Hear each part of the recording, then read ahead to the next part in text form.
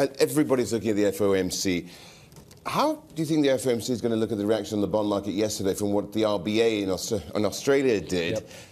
It did sort of send some signals, certainly, and perhaps the Bank of Japan should be taking note of this even more.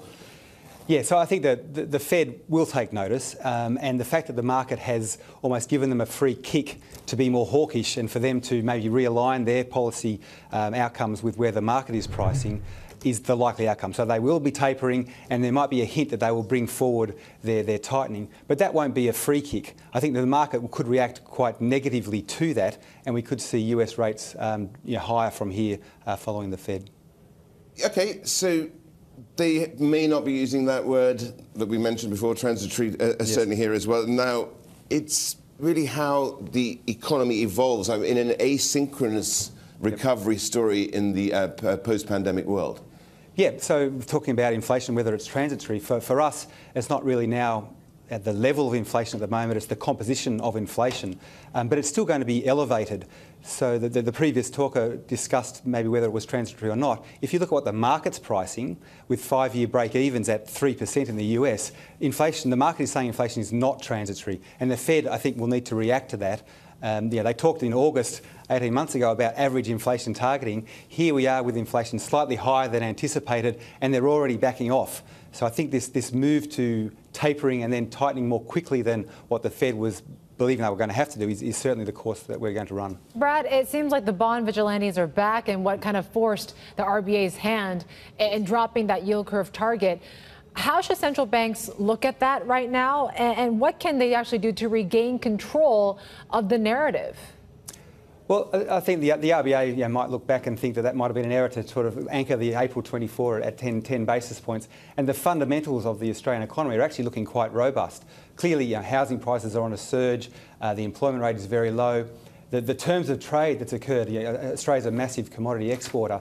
It's very powerful um, uh, tailwind for the Australian economy. And the savings rate in Australia is very, very high. So coming out of, of the virus, you know, the, the, balance sheets of Australian consumers are very, very strong. So there is some quite strong momentum for the Australian economy. So whilst the market may have overshot in this initial unwind of received positions in the short end, I do think that the, the most likely medium-term path for Australian rates is, is, is higher. And when it comes to, to yield curves, uh, they've been flattening globally. Yep. We saw a little bit of an unwind of that overnight. Is this re-steepening sustainable in any way, Brad? I'll probably push back against that. I think that we, we, have moved a lot of our, you know, the, the, the, the, tracking error we have in our portfolios was sort of outright durational, being underweight bonds generally, and now we're moving more to positioning for yield curves to, to flatten in various markets. So no, I don't think that a, a, a significant steepening of the Australian yield curve is, is in order. But this coming against this backdrop of a, a, country which is facing quite a lot of headwinds now, uh, not least when we look at what happened with uh, the regulatory changes for technology companies and others, and then, of course, the property market and Evergrande. Has this all sullied people's appetite abroad to be investing on the corporate side in Chinese paper? I mean, for yeah. maybe just caveat that with the, because as a dollar bondholder, sure. you yep. know where you where you stand. Yep. The, the, evidence in terms of flows that, that, that, we're seeing and the market is seeing is actually not. Um, it feels to us that yeah, there are still inflows into, into bond funds in Asia trying to capture that yield. But you know, we would warn that the, the, the, volatility around that China dollar property issuer is, is here to stay. Um, and given that I think it's 40% of the high yield property market is now trading at distressed levels, uh, in, in, January alone, there's 6.1 billion worth of sort of US dollar China property that is maturing and needs to be refinancing. So funds have not sort of lost AUM in terms of outflows, um, but the stresses is likely to be here to stay. And, and, and, as a headwind to the Chinese economy, kind of been surprised that it hasn't been felt more um, at this stage. So at the moment, the contagion from what's happening in the dollar China property market has yet to filter out to the broader economy, but that is a very big risk. And does that make Chinese bonds still attractive then, then Brad? Are they likely to continue its uh, outperformance? Makes them more attractive, actually, yes, yeah. I'd agree, Yvonne. The, the, you think about what's happening, as we discussed in the previous session, about the general bias for higher yields globally. You know, one large bond market is bucking that trend. If you look at Chinese government bond yields, they've actually rallied 10 to 15 basis points in the last few sessions, and there's potential for that to continue into 2022. So, again, a favoured position of ours for, for many years uh, and continues to be so.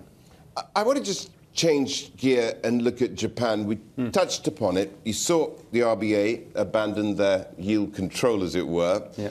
Japan has to, at some stage, do the same thing. What does that mean for the yen in terms, perhaps, of uh, its value, its effective exchange rate, if you will do? We're very cheap here compared to his, historically speaking here.